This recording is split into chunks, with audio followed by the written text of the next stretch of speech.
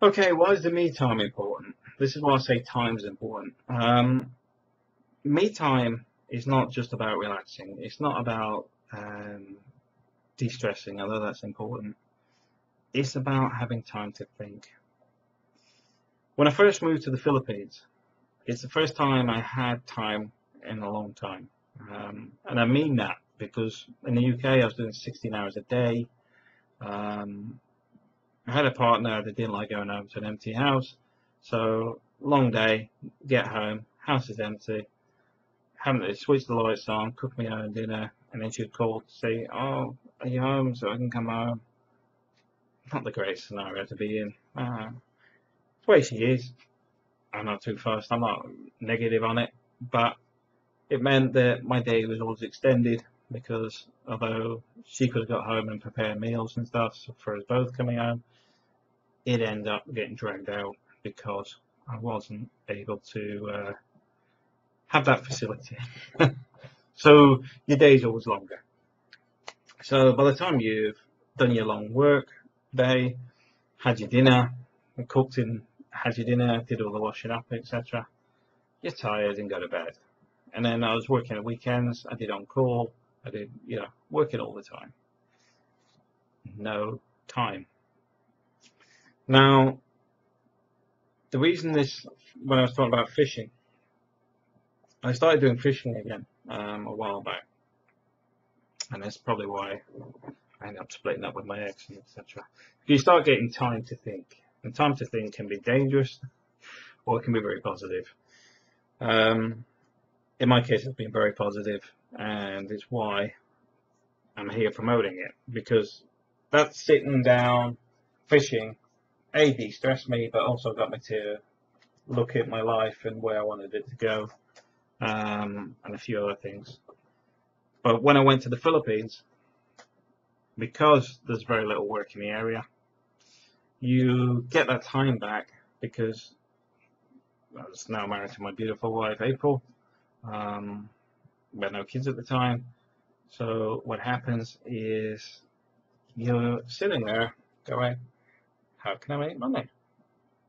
And in the Philippines at that time, didn't need a lot of money to live. We could live on 5,000 pesos a month, which isn't a lot. But you're sitting there, you go, you know, I'll do a website. So you're doing your website, that website um, was making reasonable income. It was, it was making about four to five thousand pesos a month then. Um, invested a bit of time in it, got better at it, um, and that became a regular income. Now that same regular income still exists today. It's still making me about a thousand dollars a year, and I haven't done anything with them since at least 2012. Not bad, is it? Thousand dollars a year for the last three years without uh, putting anything in. Now, if you look at investments, um, or what the bank's offering these days for 1% or even a, a hefty 5%, how much money would you have to save to get a 5% return a year, to get $1,000? And that's why these things can be very useful and it comes from having the time to do them. But it also takes the time to think up how you're going to do it. So if you take that, and then it's like, oh, this year um, was it start start of last year? I started dabbling with YouTube. Um, YouTube videos make me money every month, so we'll just say it makes five hundred dollars a year. Not big money. How much money would it take to get five hundred dollars a year from? Um, what do you call it? Saving money for a pension fund because all I'm looking for to live in Spain is a thousand euros a month. So there is the first one half thousand dollars. And I don't need to do anything for it. It's gonna be continuous. Comes from this. Comes from sitting down thinking. Comes down for sitting having these conversations where we go, okay, got this idea. This can make you money. Um, and this is why I keep saying to people, put a bit of time in. Do some of these videos. If you're a truck driver, video the road. I'm not being funny, but sometimes you have accidents in front of you. YouTube will have all that stuff. I'm not saying anything gory, but you know, even somebody just praying in a car, um, YouTube love it. Same as uh, if you if you have a job in a factory, maybe it's worth filming the automation system. People interested in that sort of stuff. Everybody's interested in something, and you'll be surprised what makes money on YouTube because I still haven't got the formula down. That's why I'm not only making 500 a year on it at the moment, not 50,000. but I don't mind because the fact is, like I'm saying, it all builds up to a small income on a regular basis, and it only needs to get to 12,000 euros between everything. And I'm nearly there already. But the fact is, it all comes from creating that little bit of time for yourself, which disconnects your home life, your work life, and you just have your time. Because you can't have your home life going on or your work life because they distract you from your focus. It also means that you're not getting a bit of time where you've got no stress going on. You may not be stressed in your own life, by the way, but you're, you're not having time to think. And that's the important bit. You really need to create a little bit of me time where you can lock yourself away for half an hour to a day, you know, so you can think up some ways to get yourself ahead in life. And I know some people that, oh, I can't believe this.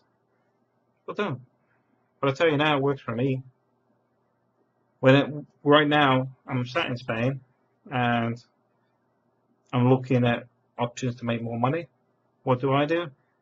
I spend a bit of time with people around me, uh, working the network.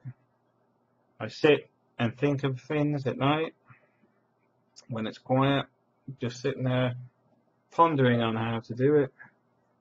And sooner or later, I get that little eureka moment where I've got an idea and I just plug it in. It's like I said, these YouTube videos. I just had an idea last uh, January because work wasn't starting until February.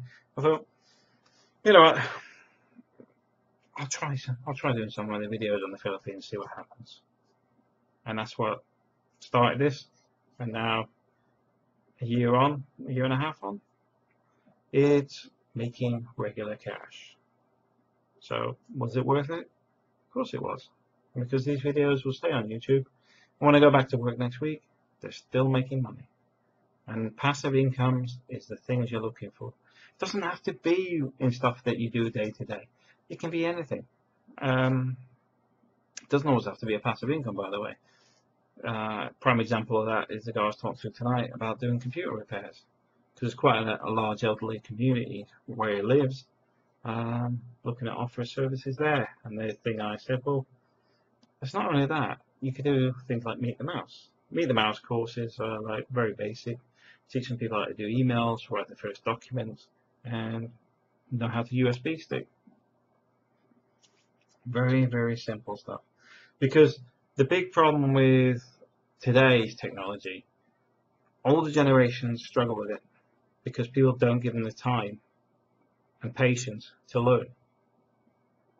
That's why there's cash in it. Sitting there with 10 retirees um, every Wednesday, all paying a little bit, makes you a few quid in your pocket but it makes them a little bit smarter, a little bit wiser on computer equipment. And also means that they can Skype their families, they can email their families, they can do their first website if they want, they can learn photography whatever it is. You don't have to be an expert because quite simply you already know more than they do and that's all you need to do. You need to transfer your bit of knowledge that says, okay, does everybody know how to switch a computer on? Do you know what a monitor is? Do you know what a PC is? Do you know what they, how to connect your computer together? What happens if it doesn't boot?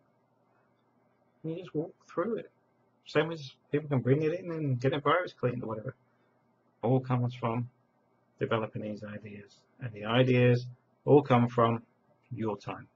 That little bit of time where you have time to think about things that you like to do, want to do, and can make you some money. Thanks for watching.